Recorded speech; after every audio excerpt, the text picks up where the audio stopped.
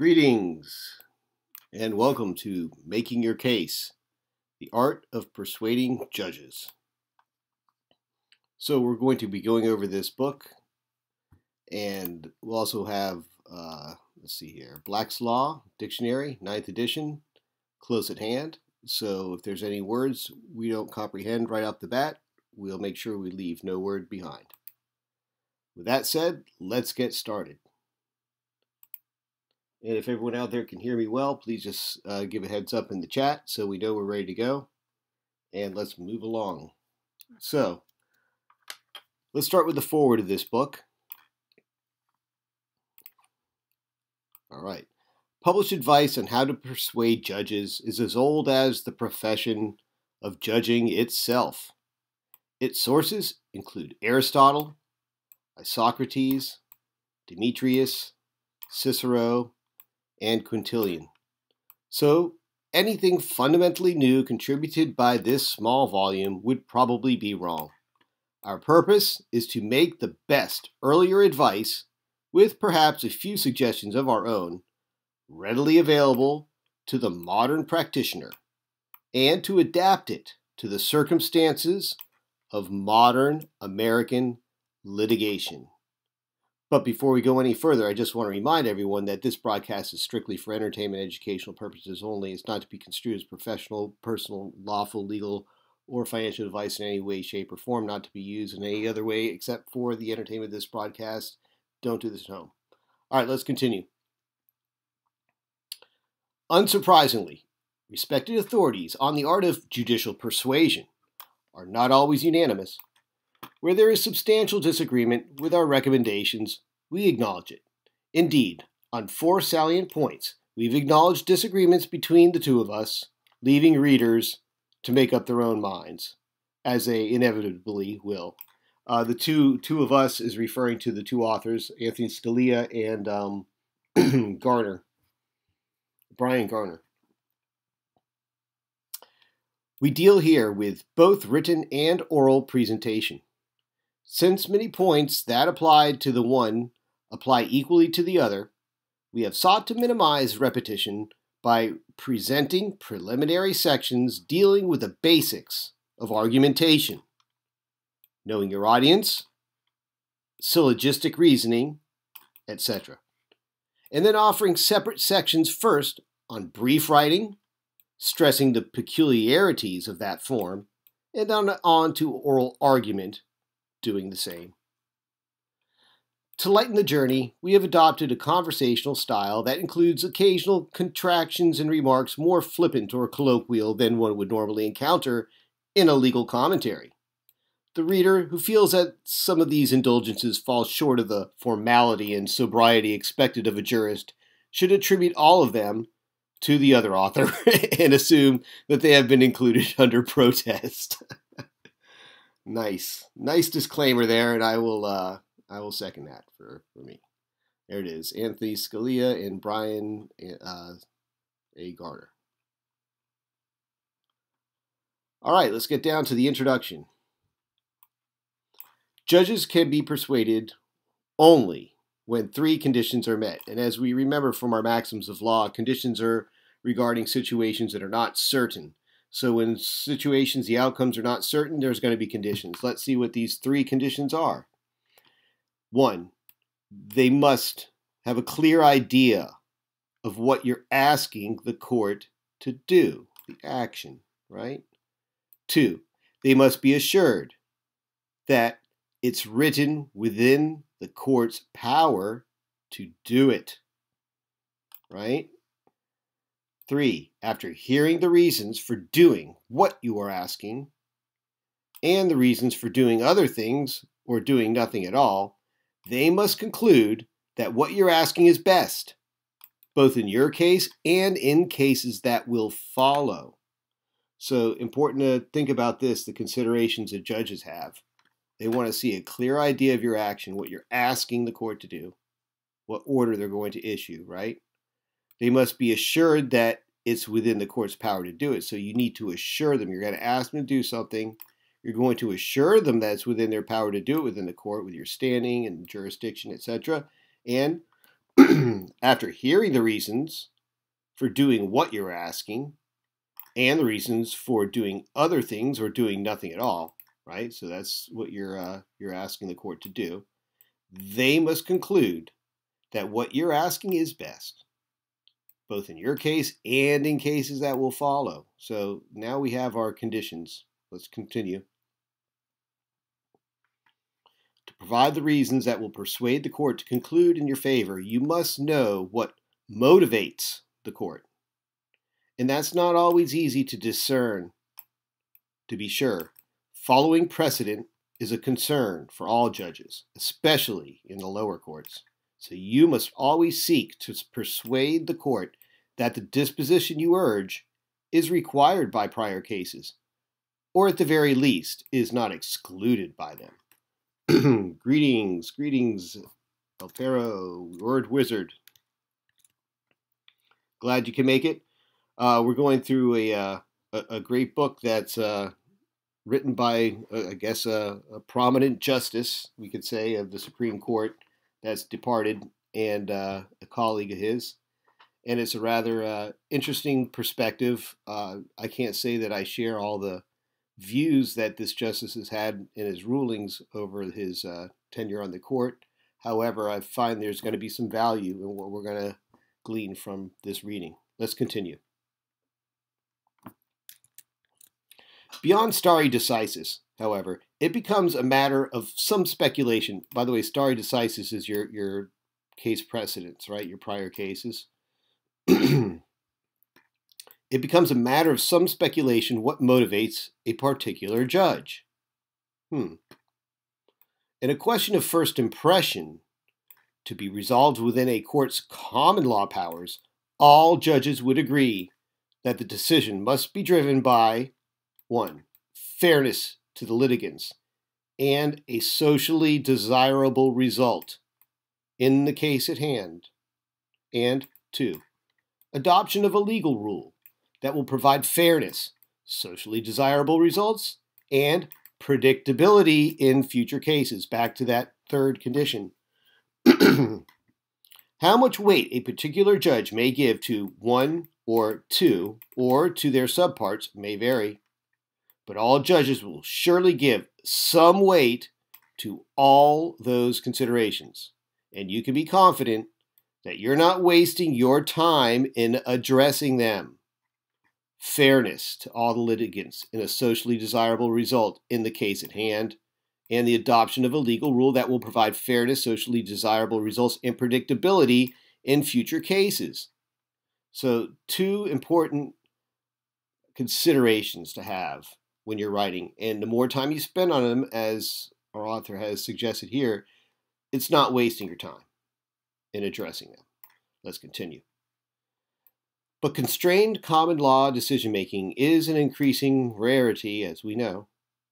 Courts are usually confronted with interpreting a governing text, whether a constitutional provision, a statute, an agency regulation, or a municipal ordinance.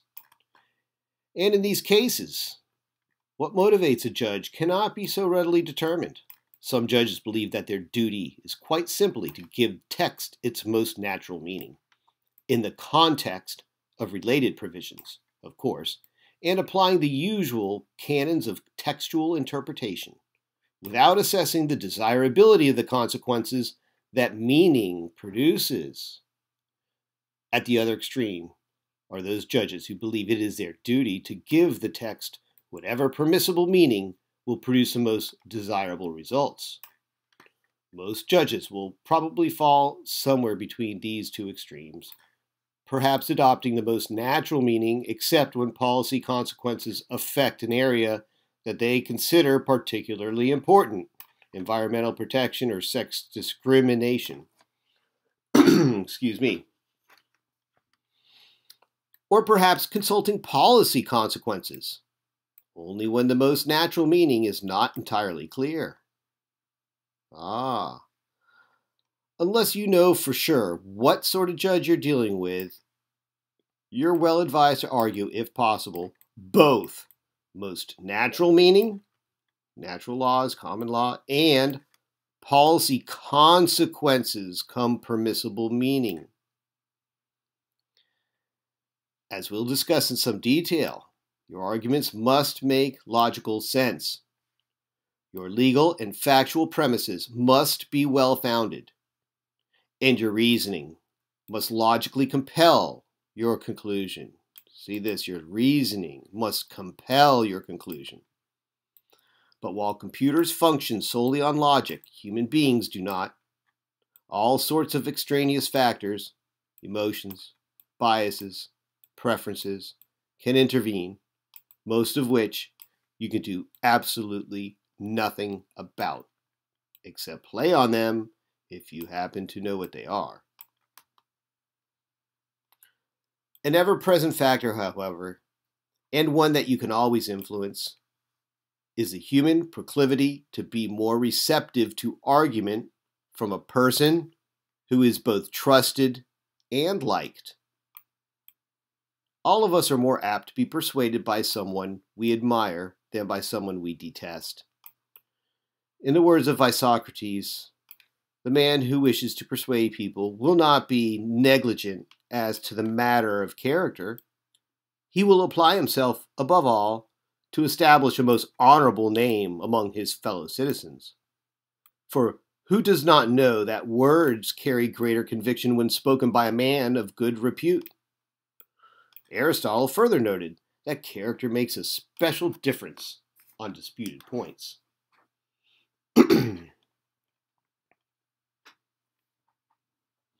we believe good men more fully and more readily than others. This is true. Where exact certainty is impossible and opinions are divided, Your objective in every argument, therefore, is to show yourself worthy of trust and affection. Trust is lost by disassembling or conveying false information, not just intentionally, but even carelessly, by mischaracterizing precedent to suit your case, by making arguments that could appeal only to the stupid or uninformed, by ignoring rather than confronting whatever weighs against your case. Trust is won by fairly presenting the facts of the case and honestly characterizing the issues. By owning up to those points that cut against you and addressing them forthrightly, and by showing respect for the intelligence of your audience. As for affection, you show yourself to be likable by some of the actions that inspire trust, and also by the lack of harsh combativeness in your briefing and oral argument.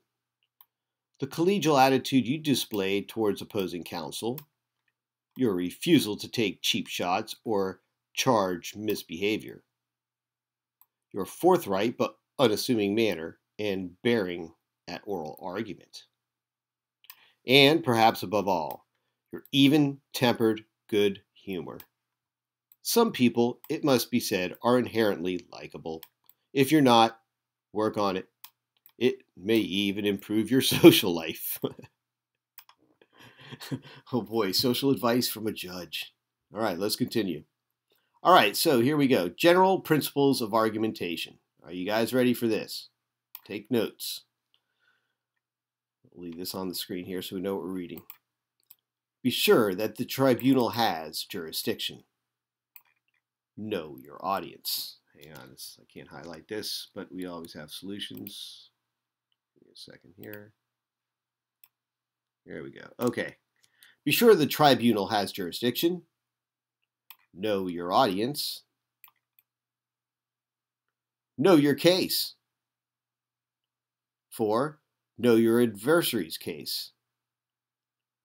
5. Pay careful attention to the applicable standard of decision.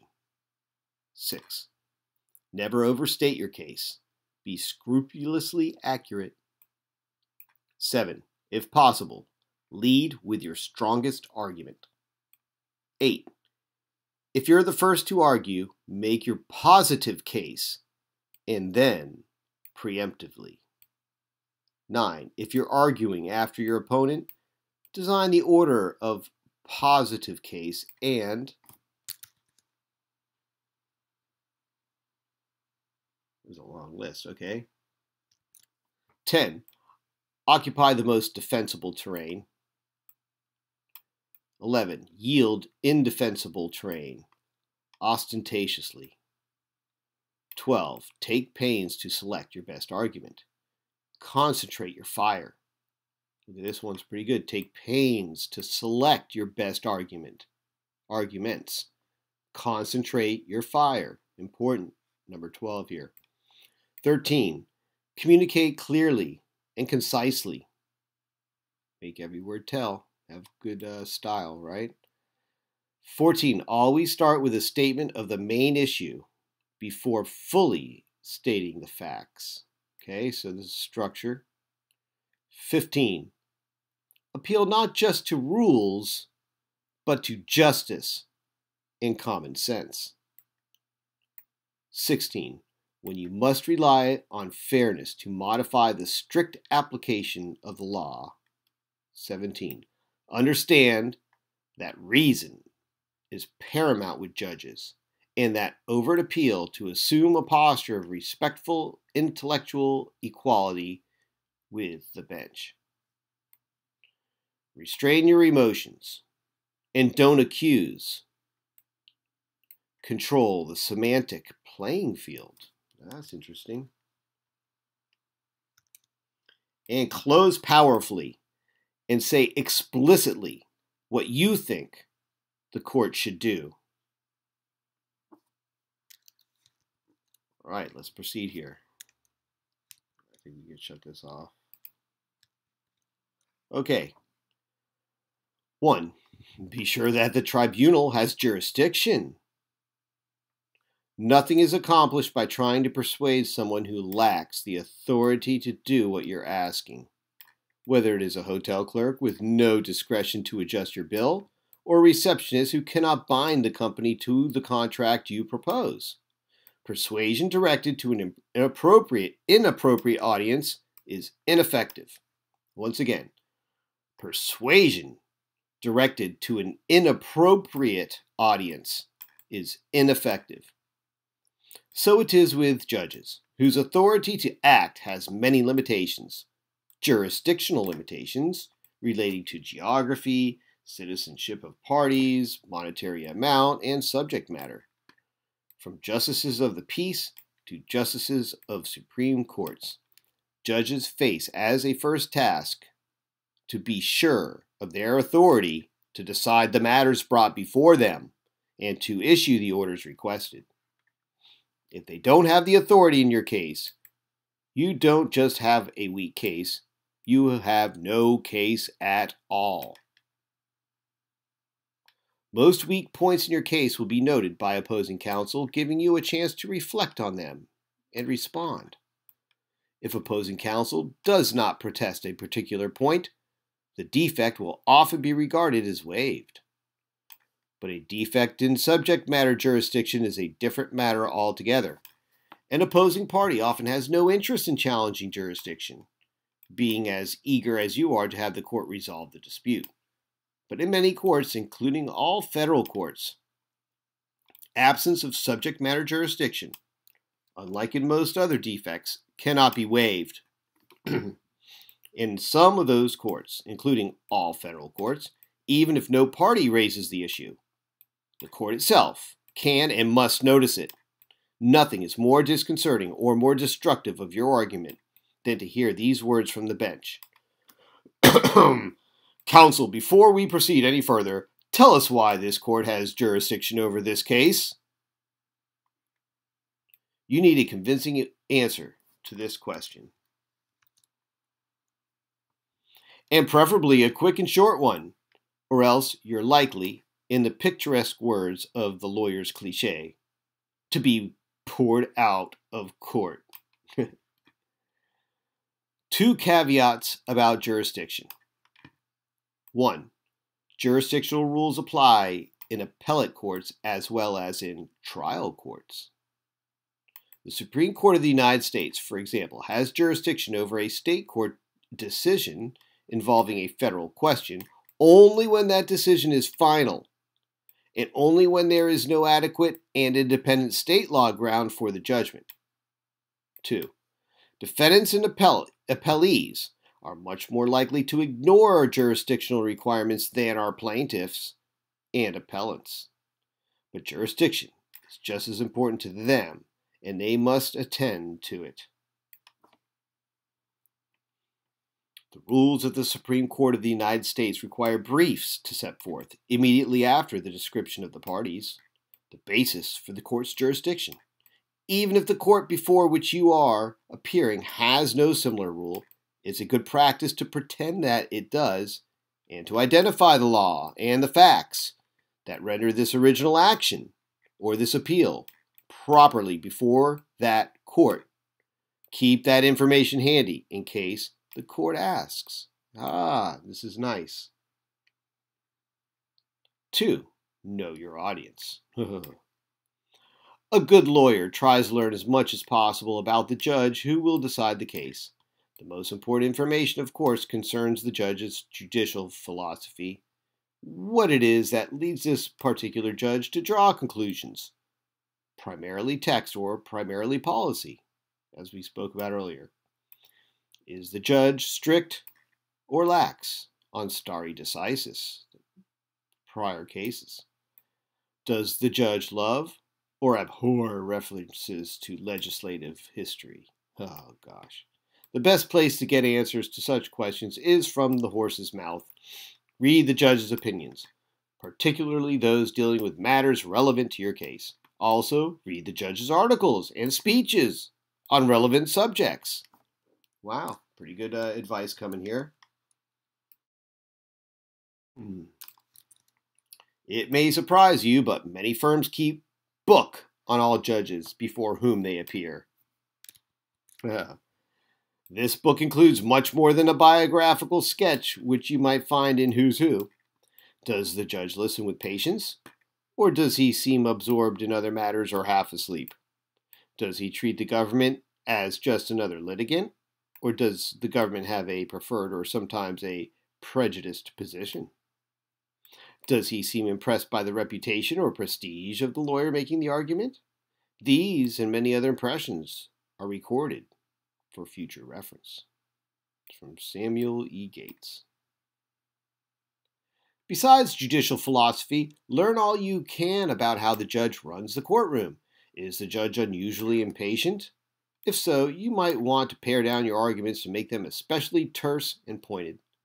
Is the judge an old school stickler for decorum? If so, you might refer to the opposing counsel as my friend. One federal judge had a practice of fining counsel $20 no notice in advance for placing a briefcase on the counsel table. It's good to know such peculiarities. Some of these courtroom characteristics you can and should observe by sitting in on one of the judge's hearings. Beyond that, however, talk to colleagues at the bar who are familiar with the judge's idiosyncrasies. I think he's referring to the local watering hole. That's a lowercase b, by the way. You see that at the bar, like after work, who are familiar with the judge's idiosyncrasy. Finally, learn as much as you readily can about the judge's background. Say you're appearing before Judge Florence Kubitsky, with a little computer research and asking around, you discover that fly fishing is her passion, that her father died when she was only seven, that her paternal grandparents, who were both professors at a local college, took charge of her upbringing, that she once chaired the state Democratic Party, that she enjoys bridge, and she has been estranged from her boy, her brother and sister for many years, that he, she graduated from Mount Holyoke College and took her law degree from the University of Michigan, that she's an aficionado of good wines, that her favorite restaurant is the Beaujolais Room, that she was a counsel for a craft union before coming to the bench, and so on. Going in, all these data seem irrelevant to how the judge might decide in your breach of contract case, but you might well find some unpredictable uses for this knowledge over the course of a lengthy trial You might want to stress, for example, that the defective contract performance your client is complaining about violated basic standards of the craft and reflects shoddy workmanship. At the very least, these details will humanize the judge for you so that you will be arguing to a human being instead of a, a chair. Apart from the judge's personal characteristics, there are also characteristics of individual courts. Can the appellate court you are appearing before be relied on to read the briefs before hearing the argument? If not, you might devote more argument time to the facts than you otherwise would, or deal with some legal points that are so basic that you'd normally pass over them in oral argument. Is it the practice of the appellate court to assign the opinion to a particular judge before the case is even argued? If so, you can probably assume less familiarity with facts and issues on the part of other judges, and you might want to lay out your argument in a more rudimentary fashion for their benefit. Is a court notoriously dismissive of higher court precedent? Stress the public policy benefits of your proposed disposition. So we kind of see this pattern here, right? Bear in mind that trial judges are fundamentally different from appellate judges. They focus on achieving the proper result in one particular case, not on crafting a rule of law that will do justice in the generality of cases. And they'll pursue that objective principally through their treatment of the facts if the case is, to be, is tried to the court, and discretionary rulings. In most jurisdictions, trial judges are more disposed than appellate judges to strict observance of governing case law perhaps because their work is subject to mandatory review. So at the trial court level, you are well advised to spend more time on the facts and on the discussion of precedent from the relevant courts and less time on policy arguments. That's one reason why a good trial brief can rarely be used before an appellate court without major changes. Hmm. Three, know your case.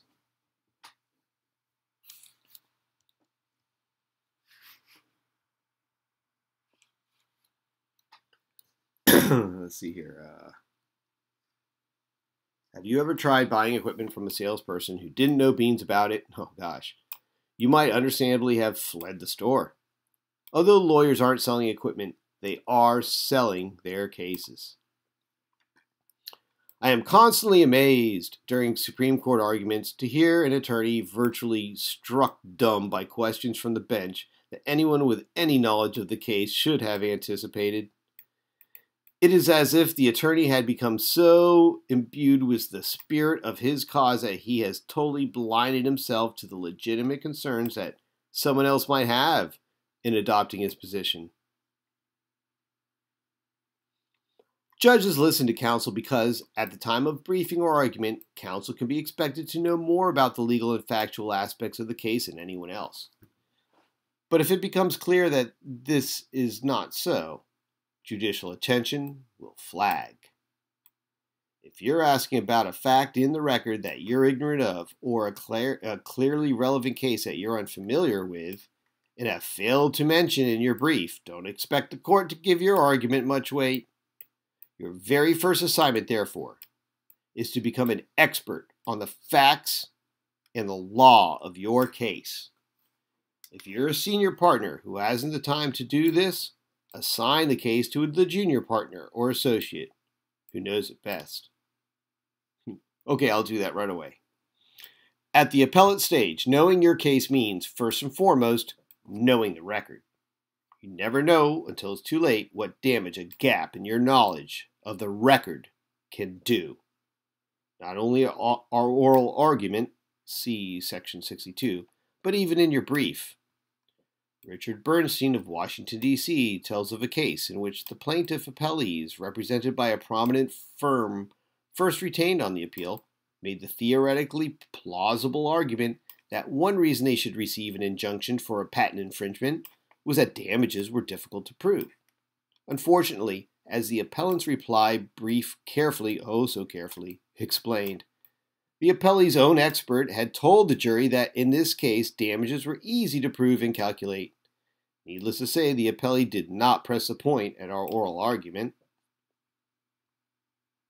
Don't underestimate, underestimate the importance of facts. To be sure, you'll be arguing to the court about law, but what law applies, what cases are in point, and what cases can be distinguished depends ultimately on the facts of your case. If you're arguing an appeal, you must have a firm grasp of what facts have been determined below or must be accepted as true, and what facts are still unresolved. Knowing a case also means knowing exactly what you're asking for. Remember, we came back to the first of the three conditions, right? And how far short of that mark you can go without bringing back to your client a hollow victory. Say a member of an appellate panel asks, Counsel, if we agree with your petition, would you be content with a remain with a remand for the lower court to consider X, an issue not decided below but and not briefed or argued here? You must know whether your opponent ever raised that issue below. If not, you must insist on outright reversal and entry of judgment in your favor. If you fail to do so, the court may cite your failure as a concession that your adversary hasn't forfeited the issue. If, however, your adversary raised the point, but the lower court didn't reach it, you should graciously concede that remand is a possibility, but go on to explain why the appellate court should reject that disposition, as by showing, for example, that the facts could not possibly support a judgment on that ground. By conceding what must be conceded, you establish your credentials as a reliable and even handed counselor.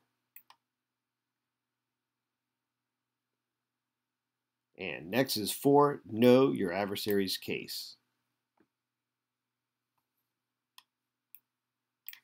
No general engages the enemy without a battle plan based in large part on what the enemy is expected to do. Know the case. Your case must take into account the points the other side is likely to make. You must have a clear notion of which ones can be swallowed, accepted, but shown to be irrelevant, and which must be vigorously countered on the merits. If your brief and argument come first, you must decide which of your adversary's points are so significant that they must be addressed in your opening presentation, and which ones can be left to your reply brief or oral rebuttal. of course, a principal brief or argument that is all rebuttal is anathema. At the trial stage, you must initially discern your adversary's positions from the pleadings, the conferences, and discovery, and by using common sense. One thing I want to mention too, if we could come back to this part here, I noticed. Uh, clear notion of this in the brief. Uh, let's see here.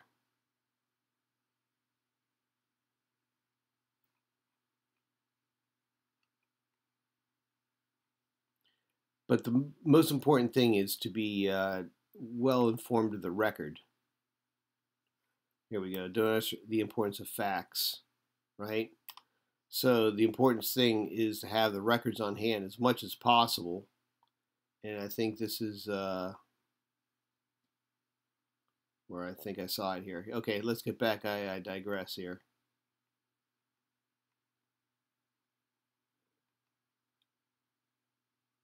But yes, this the important thing is as they're outlining here.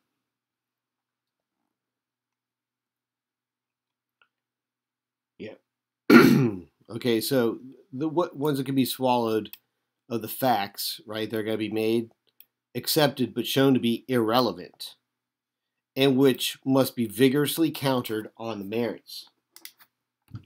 If your brief and argument come first, then you must decide which of your adversary's points are so significant they must be addressed in the opening presentation. Okay? so let's get back to where we were here. At the trial stage, you must initially discern your adversary's position from the pleadings, the conferences, and discovery. And I would also say any pre discovery FOIAs or any other kind of records that you were able to obtain prior to the uh, trial. And by using common sense, which that would be the FOIA. At the appellate stage, you can rely on what was argued and sought to be proved below. Bear in mind, however, that lawyers tend to develop new arguments and revise their theories as the case proceeds upward. Constantly ask yourself, what would you, what you would argue if you were on the other side?